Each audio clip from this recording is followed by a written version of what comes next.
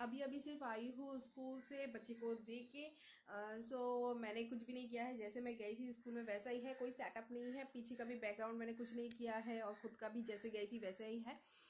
सो high lovelies आप सब कैसे हो? मैं आज ये वीडियो लाई हूँ। uh, मेरे किसी एक सब्सक्राइबर ने बहुत दिन पहले रिक्वेस्ट करा था लेकिन मैंने वो फुलफिल नहीं किया था। Uh, मैं करूँगी करूँगी करते करते क्या होता है ना जब मैं ऑयलिंग करती हूँ मैं भूल जाती हूँ उसको शूट करना। तो आज मैंने सोचा कि मैं अभी अभी आई हूँ स्कूल से लेकिन मैंने सोचा मुझे ऑयलिंग करना था मेरे हेयर्स पे तो मैंने सोचा क्यों ना ये वीडियो मैं शूट कर लेती हूँ। सो so, ज़्यादा बातें ना करते हुए मैं दिखाती हूँ ये छोटा सा ये प्रोसीड्यूर है लेकिन बहुत ही इफ़ेक्टिव होगा आपके हेयर ग्रोथ के लिए हेयर को अच्छी तरह से मॉइस्चराइज करने के लिए और नरिशमेंट लाने के लिए। इवन आप देखोगे एक हेल्दी हेयर कैसे होता है अगर आपका ऑयलिंग करने का प्रोसेस ठीक हो तो। सो so, ज़्यादा बातें ना करते let's get jump to the video मैं आज कोई अपना सीक्रेट हेयर ऑयल भी नहीं दिखा रही हूँ सिर्फ़ मैं दिखा रही हूँ नॉर्मल हेयर ऑयल जिससे कि क्योंकि सर्दियाँ है और सर्दियों में आपके हेयर में भी एक ड्रा, ड्राइनेस आ जाती है। सो नॉर्मल हेयर ऑयल आपको कैसे लगाना है? सो so, लगाने के पहले एक प्रोसीड्यूर है कभी भी आप हेयर ऑयल लगाओ ना उसको थोड़ा सा थोड़ा सा वर्म करना ज़रूरी है। बट आप इसको डायरेक्टली गैस में वर्म मत कीजिए। आपको मतलब डबल बॉयलर प्रोसेस आप यूज़ कर सकते हो नहीं तो आप अगर ओवन है तो आप ओवन भी यूज़ कर सकते हो। तो मैं पहले दिखाऊँगी डबल बॉयलर प्रोसेस कैसे करते हैं ऑयलिंग के लिए। सो so, चलिए हम लोग चलते हैं आज किचन में। पहले जो मेरा मुझे जो चाहिए था वो देखिए मैंने एक बर्तन में थोड़ा सा पानी ले लिया है और मैंने यहाँ पे लिया है पैराशूट हेयर ऑयल नारियल तेल और एक कटोरा लिया है। सो so, अभी मैं फर्स्टली क्या करूँगी? इसको यहाँ पे बिठा दूँगी। ये थोड़ा सा पानी वर्म होगा। और मैंने कटोरी में थोड़ा सा नारियल तेल ले लिया है। सो ये अभी यहाँ पे मैं दे दूँगी इसको थोड़ा सा मेल्ट होने के लिए। और इसके साथ मैं यूज़ करूँगी ब्लॉसम कोचर का कैस्टर ऑयल आप किसी भी कंपनी का यूज़ कर सकते हो, मेरे पास ये था सो मैं ये यूज़ करूँगी।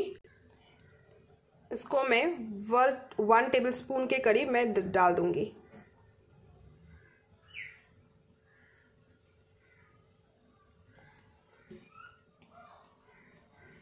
और इसको मैं मेल्ट होने के लिए अभी छोड़ दूँगी। जब ये मेल्ट हो जाएगा, उसका मतलब ये थोड़ा सा वर्म भी हो जाएगा इसके साथ। और इसके साथ मैं यूज़ करूँगी, देखिए मेरे पास है विटामिन ई e का कैप्सूल सो एक कैप्सूल मैं इस पर डाल दूँगी। ये देखिए, मैं यहाँ पे ये एक कैप्सूल डाल रही हूँ।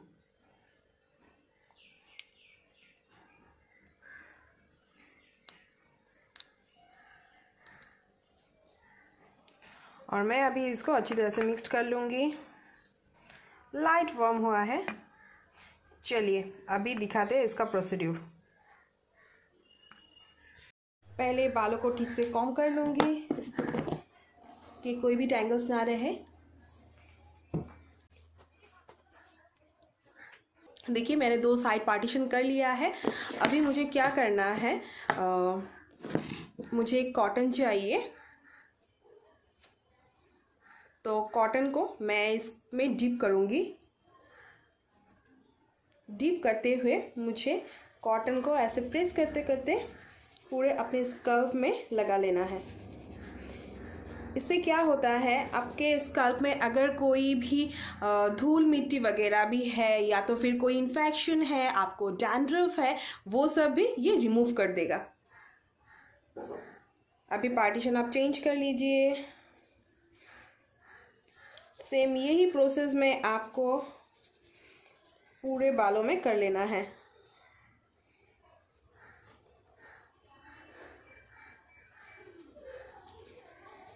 आप सिर्फ़ सेक्शन चेंज करोगे और कर लेना है आपको।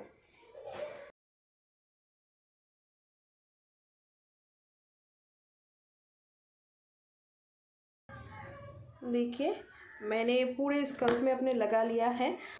अभी क्या करना है, अच्छी तरह से अपने नाखूनों से नहीं, अपने फिंगर टिप्स जो है ना, इससे आपको अच्छी तरह से पाँच से दस मिनट तक ऐसे ऐसे मसाज करना है इसको।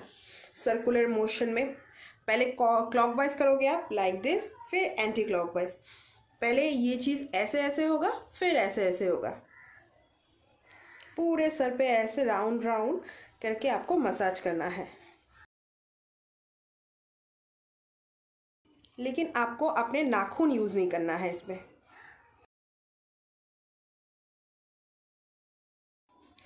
इससे क्या होता है, ऐसा भी नहीं लगेगा कि आप मतलब बोतल भर के अपने सर पे डाल दिया है और अपने सर की अच्छी तरह से मालिश भी हो जाएगी। और एक चीज़, आपके हेयर में आप अगर ये प्रोसीड्यूर हफ़्ते में दो बार भी आप यूज़ करते हो ना और इसको ओवरनाइट छोड़ दो, कल जाके मैं शैम्पू कर लूँगी तब आप देखना आपका हेयर ग्रोथ और आपका हेयर का स्ट्रक्चर कैसा होता है। और ऐसे करने के बाद, दस मिनट ऐसा करने के बाद आपको हेयर लेंथ में भी ऐसे करके लगा लेना है।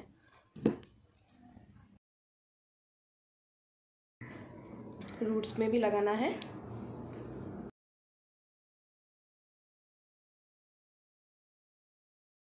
देखिए, मैंने अच्छी तरह से जंपी कर ली है।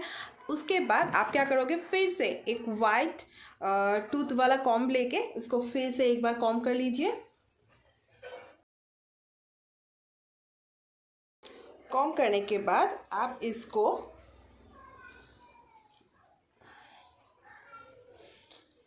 ऐसे करके रख दीजिए। अगर आपका मन करे तो एक पुराना कोई भी अगर टी शर्ट हो तो उसको आप बाँध के रखिए आधा घंटा हाफ़ आवर तो क्या होगा ना आपने जो मतलब मसाज किया है उसका जो हीट है वो पूरे अपने स्काल्प तक लगेगा और अपने हेयर्स को हेल्दी लेंथ भी देगा और अच्छा भी होगा। सो so, ये हो गया मेरा आज का वीडियो आपको कैसा लगा आप ज़रूर बताइएगा। अगर आप लोगों को ये हेल्पफुल लगे आप पहले कर लीजिए। अगर आपको हेल्पफुल लगे उसके बाद ही आप कॉमेंट कीजिए और लाइक भी कीजिएगा। और जिन लोगों को हेयर का प्रॉब्लम है और जिन लोगों को लगता है कि कैसे हेयर ऑयलिंग करने से अच्छा होगा उन लोगों के भी साथ आप ज़रूर शेयर कर सकते हो ये मेरा वीडियो उसके ऊपर आप लोगों का मेरा जो स्पेशल हेयर ऑयल वाला वीडियो है वो भी मैं लाऊँगी जिसके साथ आप जिन लोगों का हेयर फॉल ज़्यादा हो रहा है हेयर ग्रोथ रुक गया है डैंड्रफ का प्रॉब्लम है वो भी इफ़ेक्टिव होगा. सो so, आज के लिए बस इतना ही. Bye live beautiful love beautiful